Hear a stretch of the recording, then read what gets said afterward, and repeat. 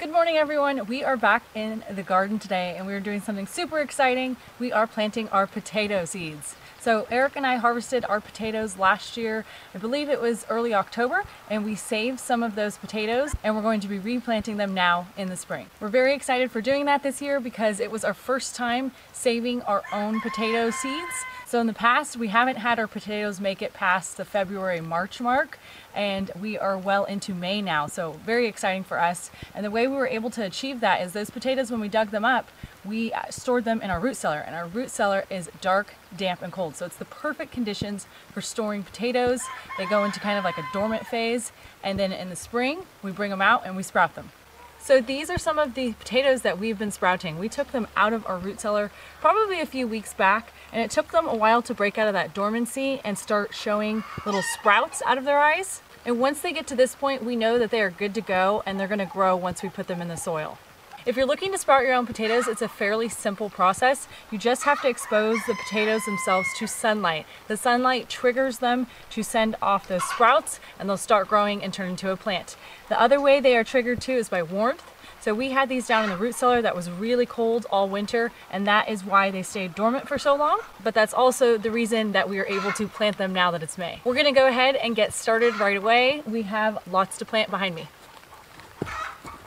So these are the potatoes that we're going to be planting today. I already have them organized by variety.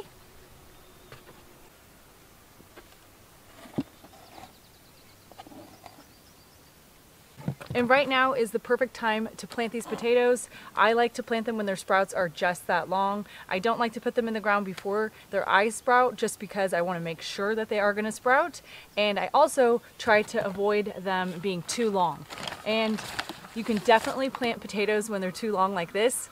This is a potato seed we picked up from a nursery earlier in the year and it clearly is further along the process of growing.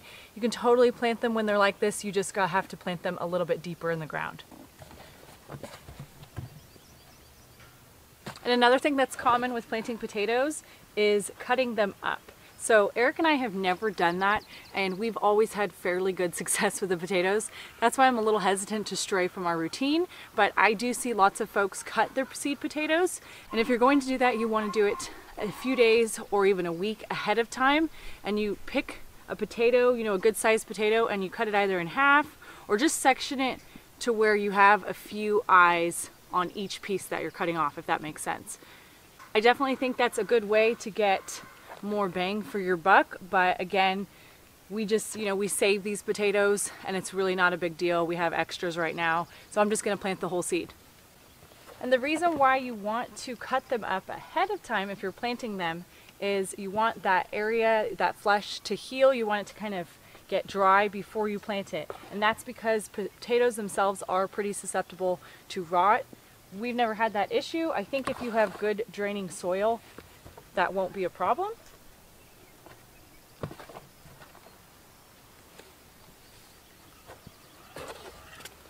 And of course it also depends on the time of the year you're planting your potatoes. So we plant ours in the spring and I've made sure that the ground is not frozen. It's not frozen in the rows, at least I know that because I can dig all the way down to them.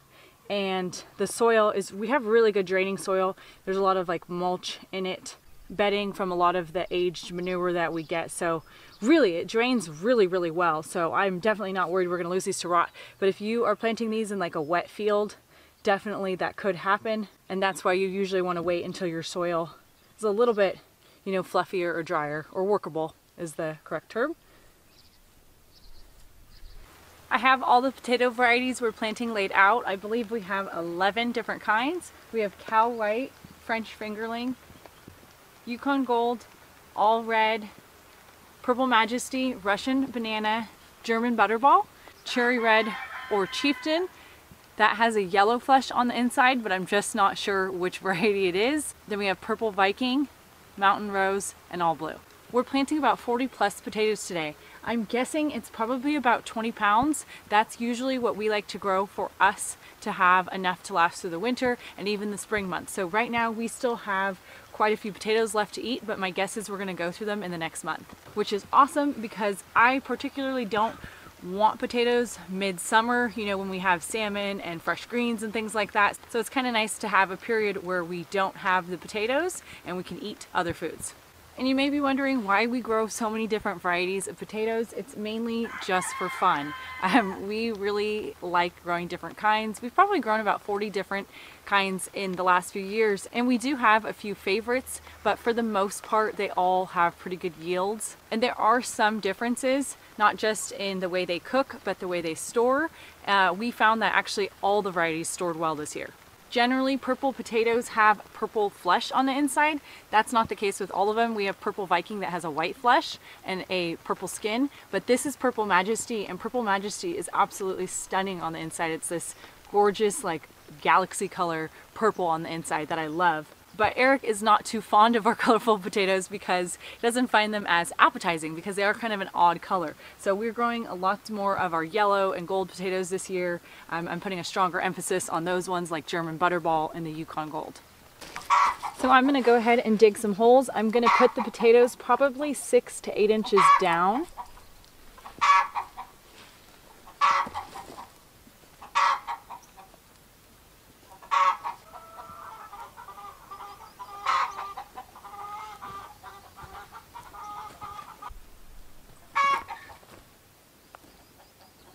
We're doing the holes about 12 inches apart from each other. I'm kind of staggering them from the left to the right.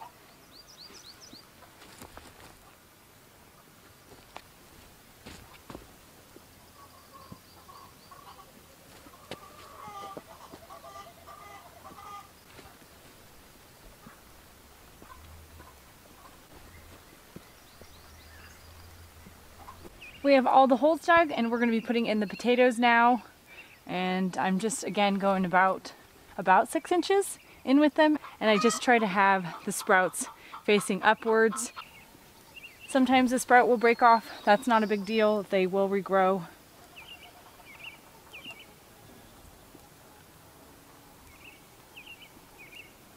And for us, this is about the closest you would want to plant potatoes.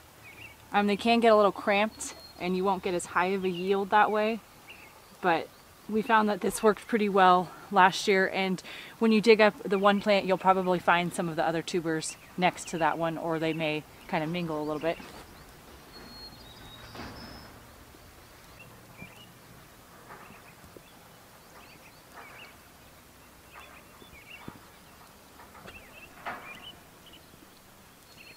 This would be a great candidate for splitting up because it has eyes all over the whole potato so that's a really nice one. We're just gonna plant it whole. And we got some massive potatoes last year, but I personally tried to save the smaller ones for planting. I didn't really want to plant a whole big potato like this. Um, I don't know if it makes much of a difference. I would think a bigger potato would have more energy to produce more potatoes. However, we like to eat the big ones, so I just save the smaller ones for planting.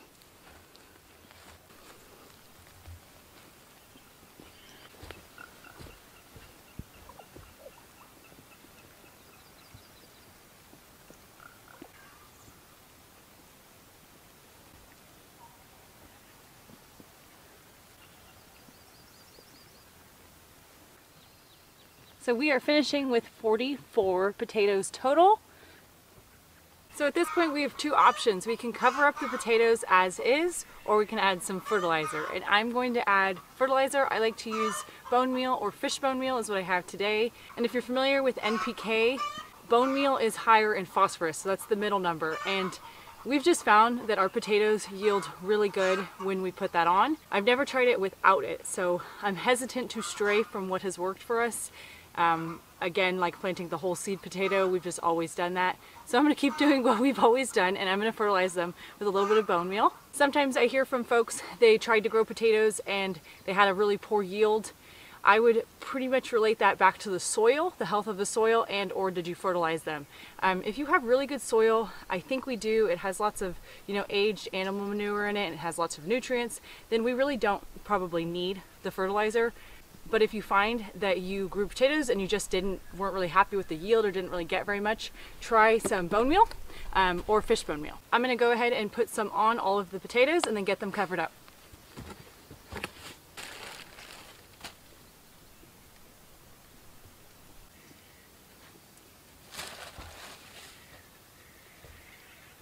I'm also gonna put just a tiny bit of all-purpose fertilizer on this row. And lastly, I'm putting a little bit of the mycorrhiza inoculant. And now I'm just going to cover them up.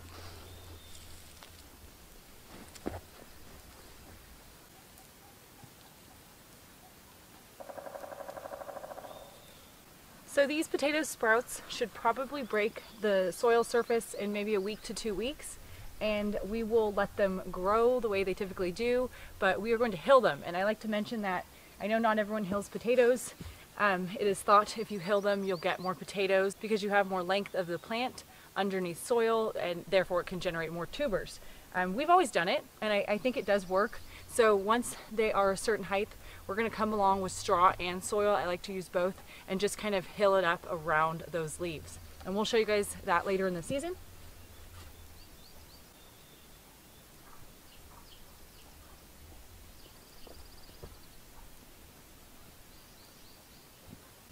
Before we jump on to the next project, let's talk about yield. And yield for potatoes, it does vary depending upon your soil, of course, and how loose it is. So the looser the soil is better. Potatoes prefer that kind of soil. It also depends on all the nutrients available in your soil, but for the most part, each potato that you plant is going to give you 10 potatoes back. And we generally get that, is sometimes we get more, closer to the 15 mark. So that's a pretty good trade-off. One potato turns into 10 to 15. However, if you're planting fingerling varieties, which are the kind that are a little bit smaller and longer, kind of a little narrower, we have Russian banana and French fingerlings. Those give you a lot more and I highly recommend those, especially if you have a small space. They tend to be late season, so they do take a long time to make their potatoes, but you really get more for the amount of potatoes that you plant. So we have found just one fingerling can give you anywhere from like 50 to like 70 on the higher end. We've had some plants give us 70 or more potatoes from one fingerling potato, which is crazy. I don't even know if that's a normal thing, but we have found that those are really awesome. They're great for storage, great for cooking, and they tend to grow a little bit bigger. At least I found ours do. Last year we had fingerlings end up like this big. I don't know if that's normal, but I always recommend those for people if you're just starting to grow potatoes. Okay, so we're all done. I'm gonna grab some seed and we're gonna hop over to the next row. Okay, so we are moving on to more root crops. It is raining a little bit today, so I have our seed packets in the Ziploc. We're gonna be planting radishes, beets, carrots, turnips, parsnips, and salsify. And salsify is new for us this year, so I'm excited about that one.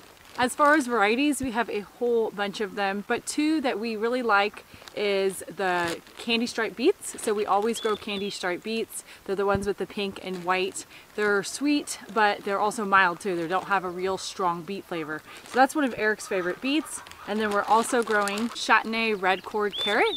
This one was outstanding last year. Um, we grew a few different kinds that we really liked, but I would highly recommend this one. This is from Denali Seed Co., but you can find this carrot through many companies. So we're going to go ahead and get started.